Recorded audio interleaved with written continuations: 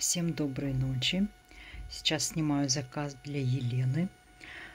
Она у меня заказала достаточно давно а, колумнеи. И вот только сейчас удается, так сказать, заказ передать.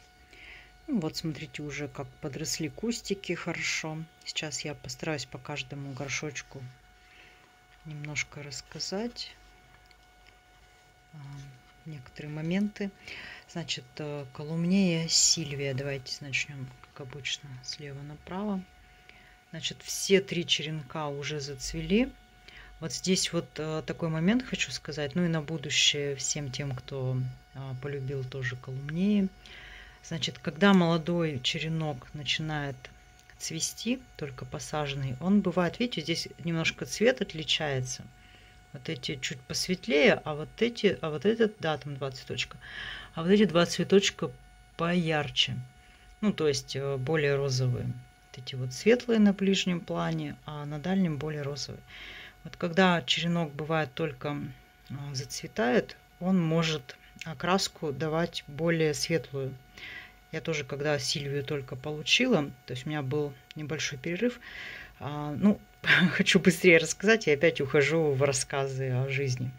Ну, вкратце, когда-то Сильвия у меня была, и мне очень нравилась вот эта вот ее розовинка, этот румянец у цветов, очень красивый, как у яблочка, да, такой вот цвет бывает красивый, розово-красный. А, у меня она зацвела, а, ну вот тоже цвела вот такими красивыми розовыми цветами. И потом у меня был перерыв э, от растений, так как жизнь менялась. И спустя какое-то время я вынуждена была а, снова покупать колумнею Сильвия. И, к моему удивлению, у меня она зацвела сначала вот такими цветами. Я сразу сказала поставщику, что э, это не колумнея, а Сильвия. И меня поставщик успокоил, сказав, что действительно сначала молодой черенок может процветать вот такими вот э, цветами более светлыми а потом уже а, будут ее стандартные розовые. И действительно так и получилось. То есть она набрала сил и вернула свой вот этот вот красивый розовый цвет. И вот здесь вот, кстати, также на вот этом черенке получилось, что два цветка более светлые и уже постарше, которые вот здесь вот, да, ближе к краешку, они уже стандартно розовые. Поэтому этот момент пусть вас не пугает. Так, ну вот, значит, колумния Сильвия рассказала. Так, оранж щербет. Оранж щербет, он пока не цветет, но зато уже хорошо зеленую массу нарастил. Так,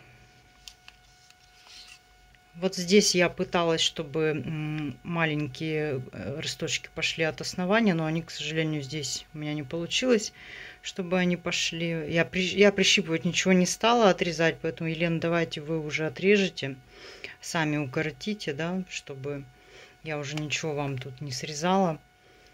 Вот.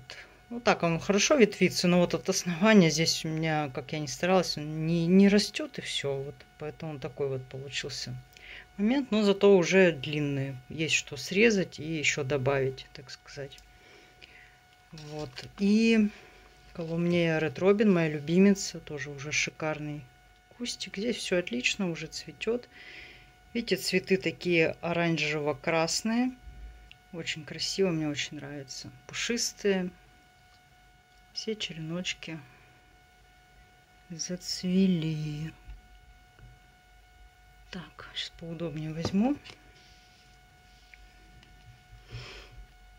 Вот такие вот они. Очень красивая яркая колумния, очень красивый рост у нее. Мне она очень-очень нравится. Вот эти вот скоро прям на днях должны распуститься. Ну вот.